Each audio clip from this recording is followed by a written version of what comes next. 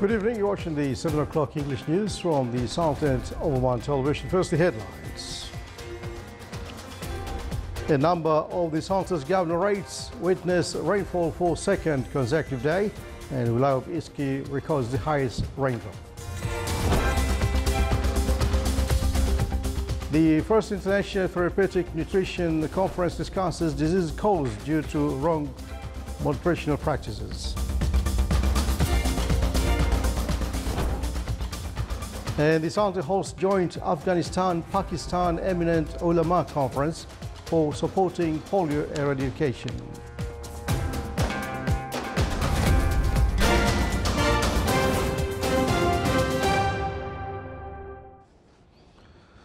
Those are the headlines, and now the news in detail. A number of the Sultan's governorates witnessed varied rainfall accompanied with wind as a result of the low pressure conditions, which is currently affecting the Sultanate. The effects of this weather condition included the governorates of Muscat, Zahira, Buraimi, Dakhiliya, North and South Sharqiya, with expectation of rainfall quantity of 30 to 75 millimeters. The weather condition will start to weaken gradually from tomorrow morning, affecting the coastal area of the Arabian Sea with varied rains. The governorate of Musandam, with its uh, four wilayas, witnessed moderate to heavy rains, causing Dabba Dam to be full of water for the first time. Heavy rains caused wadis to overflow in the governorate of North and South Al-Batna. Some wilayas of the governorate of Muscat also witnessed moderate to heavy rains and the governorate of Zahira also witnessed heavy rains that caused wadis to overflow, such as Wadi al-Ain. People in the governorates of Dakhliya received uh, with happiness rains that fell in some of its wilayas like Bahla, Izki, Manah, Nizwa, Samail and Bidbid that caused wadis in these wilayas to overflow. Wilayas of Sur in the governorate of North Sharqiya also witnessed heavy rains that caused some wadis such as Wadi Tiwi and Wadi Bani Jabir to overflow.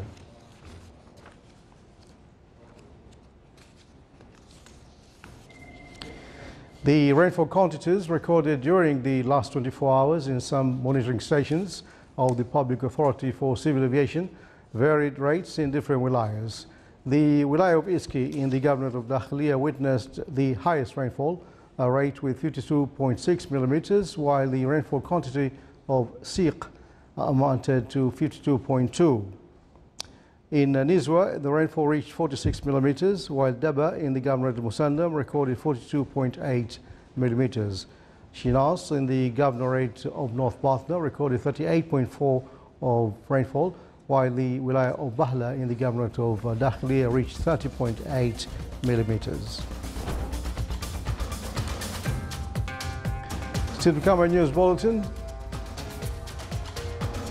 The GHEDEX and TRAINEX exhibitions start at Oman Conventions and Exhibitions Center.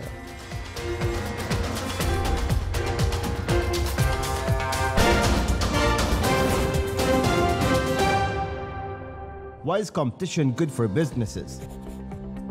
Businesses compete in things like price, quality, and service to win new customers who could be other businesses as well as consumers. Being competitive can mean more customers choose you rather than your rivals.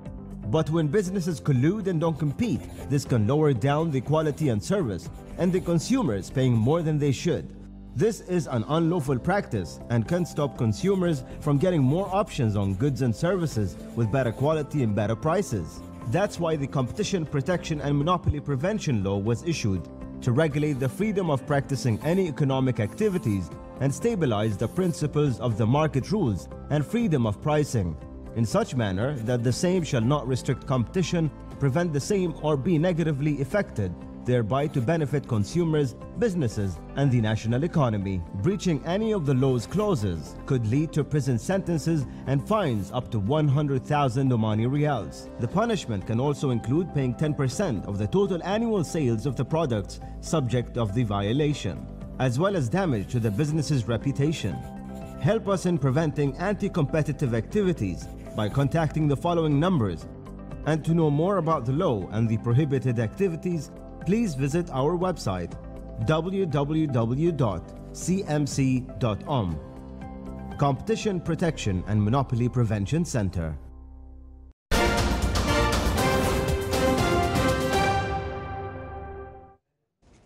Welcome back to the news from the Sultanate of Oman Television. The first international conference for therapeutic nutrition discussed diseases contracted due to some kind of food, consuming them in unhygienic way, and the repercussions of these diseases. The conference also reviewed following wrong practices, such as taking overdose and unauthorized consumption of antibiotics, which will affect the stability of beneficial bacteria in human bodies. The conference witnessed the participation of experts from inside and outside the Sultanate.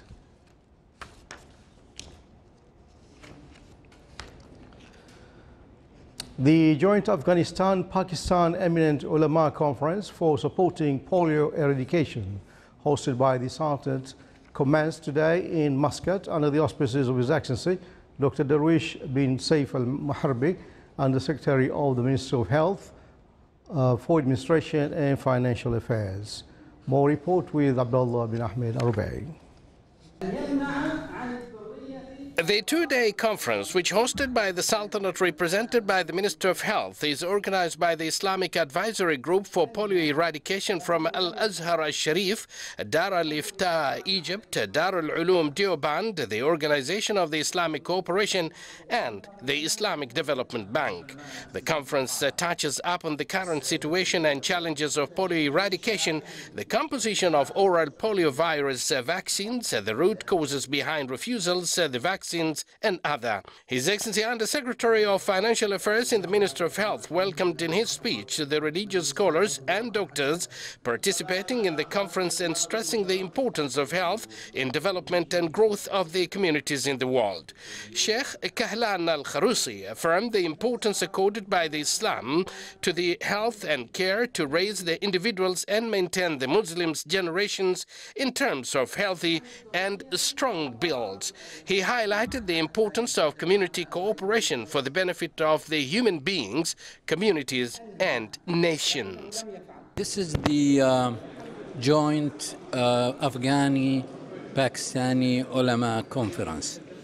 Um, this meeting is designed uh, to have a contribution of these ulama in the fight against poliomyelitis. You know, this disease is now just uh, present in these two countries.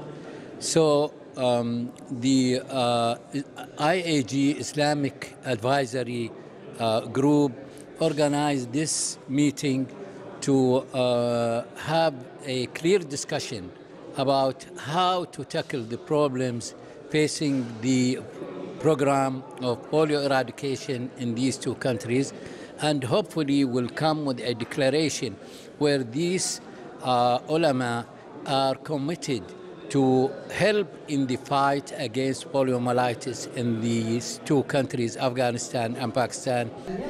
His Excellency Dr. Ahmed Al Mandhari, WHO Regional Director for the Eastern Mediterranean region, stressed that polio is crippling diseases that paralyzes children without the possibility of treatment.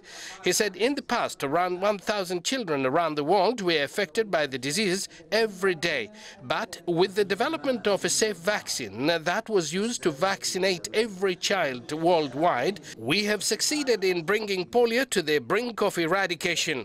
A 99.9% decline in polio cases has already been achieved since the Global Polio Eradication Initiative was launched in 1988.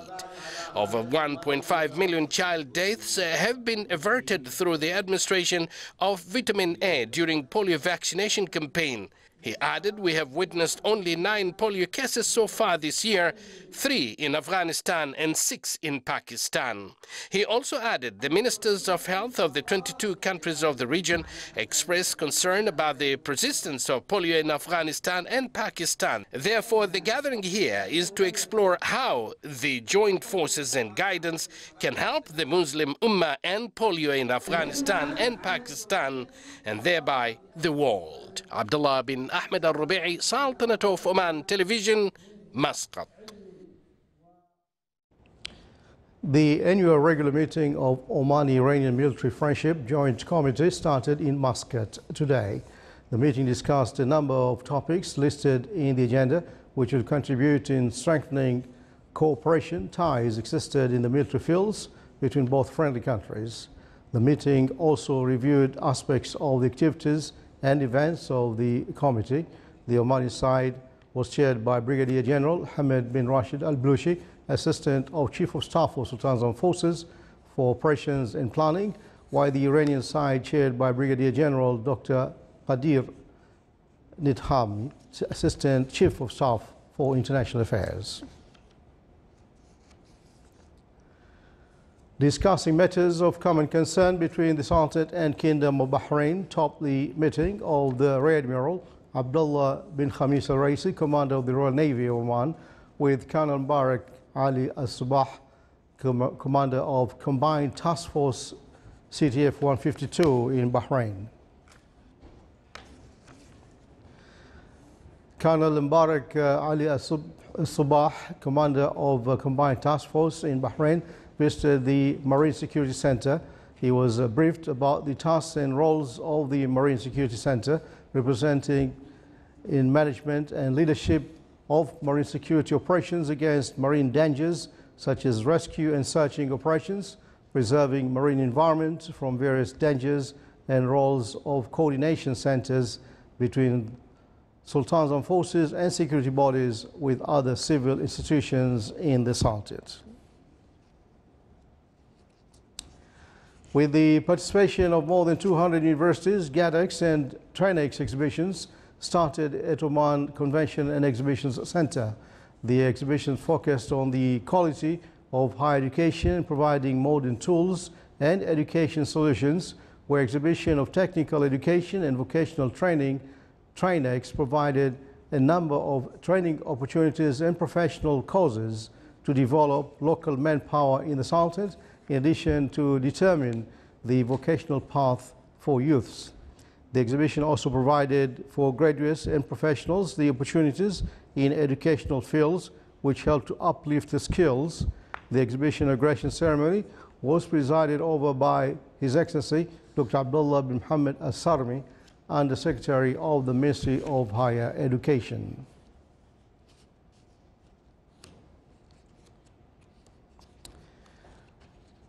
And on the sideline of GHEDEX and the TRAINEX exhibition, Petroleum Development Oman PDO signed two memorandum of understanding with the Ministry of Education and the Ministry of Higher Education to qualify 50 students from concession areas to become instructors to work in the schools at their cities and villages. The Ministry of Higher Education signed also with PDO an agreement of financing 150 scholarships for students of concession areas within the program of scholarships for the domestic society. The MOU signing came within the framework of the Tautin program, which is aimed to provide Omani teachers in the villages in order to contribute in developing the qualifying education process and provide job opportunities. Sultan Qaboos University and uh, Jusor Orpic Company signed a cooperation program aimed to partially finance the project of establishing Innovation and Technology Transfer Center in the university. The program came within the framework of the strategic orientation towards improving innovation industry in the Sultanate and support innovators of Omani youth, in addition to find encourage environment to adopt the innovations in order to enhance contribution of innovation in the national economy with valued products.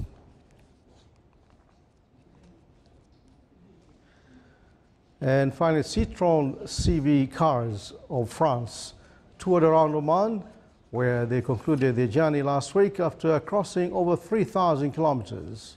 More details and full report by Abdullah Rubai. Successful tour by a French group uh, on a Citroën 2CV cars that concluded last week have had an unforgettable experience in the Sultanate. A team of 60 drivers and co-drivers with 32 CV Citroën Classicer car crossed over 3,000 kilometers around Oman's beautiful mountains and reached to one of the highest mountainous peaks in Al Hamra that has special cool breeze around attractful Kenyans. The journey of which entailed adventurous experiences. This organization organizes a rally every two years in a, in a faraway country. Two years ago, I think they were in Brazil. This time they, they decided to come to Oman. And I think this is a great, one more thing to do to, for the public, French public to discover Oman. Uh, Oman offers lots of different landscapes, so it's, uh, it's a fantastic uh, place to organize uh, automobile rallies. And, um, but they also were uh, serious about their, their, their, duties because they took the opportunity to clean some beaches on the way. So it's, uh, it's, it's a responsible rally. So I think it, it's interesting also for Omani public, and there are a few Omanis today, because this car is not known here and it's, uh, it's a little uh, whiff of France in the Sultanate. I'm uh, absolutely uh, honored and pleased to be here. I'm very, very proud of the Dutch team uh, who has participated in the, in the race. And uh, I know these cars, they are really very sturdy and I'm sure that they did well in the, in the Omani desert and in Omani mountains and also the coastal roads. Exactly, exactly. Yeah we enjoyed ourselves and we still enjoy ourselves. I'm joining Mr. Frederick right now to enter the racing field to experience the, the, the driving of the, this uh, old-fashioned car and hopefully we'll get a good experience from it. Uh, I'm happy to join uh, Hamid uh, in order to do this race. During their tours, uh, drivers have attracted different people with their stylish classic Citroën cars before concluding their adventurous journey in Oman. The symbol of the French way of life, the legendary car was uh, created in 1949 by Citroën, a famous French car manufacturing company. The car was just like incredible.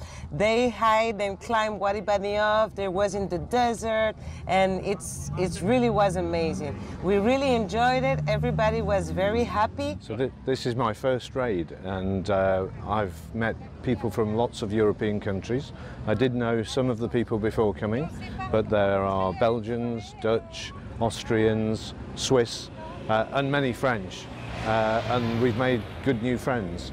Uh, the country's been amazing, fantastic scenery, uh, the people have been friendly everywhere. I'm the general manager of M&N Tour. We are the organizer of these events. We made two years of preparation with the French team Red 2CV Oman and we did all the tour, uh, all the places that we wanted them to visit because we love this country so much that we really wanted them to come and do a really excellent tour. Their tour was organized by the Ministry of Tourism and the route was arranged by Nabhan An-Nabhani, a former Omani international rally driver. The team enjoyed their time while experiencing Omani heritage, culture and hospitality. Indeed, having this Citroën here in the Sultanate of Oman is one uh, way of exchanging culture between the Sultanate and France. Abdullah bin Ahmed Al-Rubai, Sultanate of Oman Television, Muscat. This is the Sultanate of Oman Television. Before into tonight's bulletin, here are the main points once again. A number of the Sultan's governorates witnessed uh, rainfall for second consecutive day and the Wilawi Izki records the highest rain rate. The First International Therapeutic Nutrition discusses diseases caused due to the wrong nutritional practices.